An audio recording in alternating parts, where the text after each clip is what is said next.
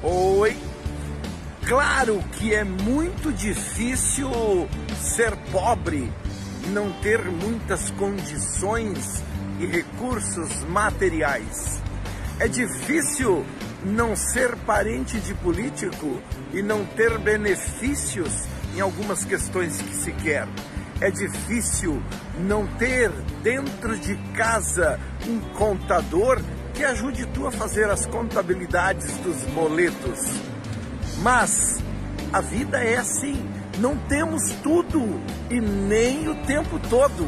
Agora sim, se tu te comparares com quem é sempre mais belo que tu, mais magro que tu, mais famoso que tu, mais rico que tu, mais saudável que tu, então tu vai ser sempre menos. É uma injustiça que tu comete fazendo comparações e não olhando para ti mesmo. Felicidades.